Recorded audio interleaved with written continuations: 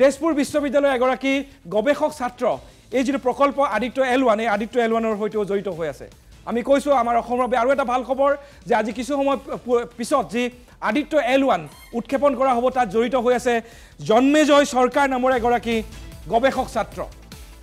জন্মেজয় চৰকাৰ হৈছে তেজপুৰ বিশ্ব বিশ্ববিদ্যালয়ৰ এগৰাকী গৱেষক ছাত্ৰ। আৰু তেখেতে এই যিটো প্ৰকল্প আছে এই চুইট নামৰ যিটো আমি কৈছোঁ যে পেলোডছ আছে সঁজুলি আছে যন্ত্ৰ আছে এই যন্ত্ৰটোৰ সৈতে তেখেতে কাম কৰিছিলে।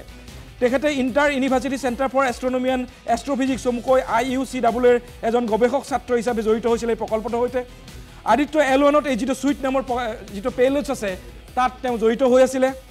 আৰু ইছৰোৰ অতিথি গৱেষক হিচাপে তেখেতে কাম কৰি আছে আৰু আদিত্য এলেনত তেখেতে কাম কৰিছিলে। আৰু এই মুহূৰ্তত মই জনাব খুজিছোঁ যে তেজপুৰ বিশ্ববিদ্যালয়ৰ অধ্যাপক কিশোৰ বৰুৱা কিশোৰ বৰুৱা ইতিমধ্যে গৈ শ্ৰীহৰিকতাত উপস্থিত হৈছে যিহে- যিহেতু গৱেষক ছাত্ৰ তেজপুৰ বিশ্ববিদ্যালয়ৰ গৱেষক ছাত্ৰ জন্মেজয় চৰকাৰ এই এই প্ৰকল্পটোত জড়িত হৈ আছে এটা গৌৰৱৰ মুহূৰ্ত।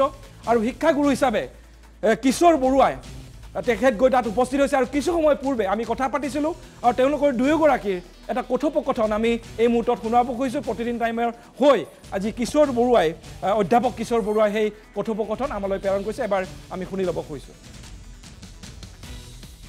মই কিশোৰ বৰুৱাই কৈছোঁ আজি আমি চেন্নাইত আছোঁ। চেন্নাইৰ পৰা কৈ আছোঁ মোৰ লগত জন্মেজয় আছে জন্মেজয় চৰকাৰ। আপোনালোকে জানে যে আমি আদিত্য এল ওৱানৰ লগত জন্মেজয় জড়িত চুইট এল ওৱান তেওঁ অসমীয়া ক'ব পাৰে ভালকৈ কিন্তু মই ইংলিছত শুনিম কাৰণ অসমীয়াটো অলপমান দিগদাৰী হয়। So' Janmejay welcome you Thank you. So' how do feel now Aditya L one is going to will definitely go' together after some So how do you feel at this moment? I feel very excited, also a little bit scared. Yeah, but yes, it's a mixed feeling. That's fine. So uh, definitely, he, so uh, you give that uh, sweet uh, portion of that Aditya one. So do you have, uh, please, uh, can you share some experience while uh, developing the sweet in the ISRO laboratory? Yeah, definitely. one of the things is this the suit instrument. It's built to see the sun in near ultraviolet light.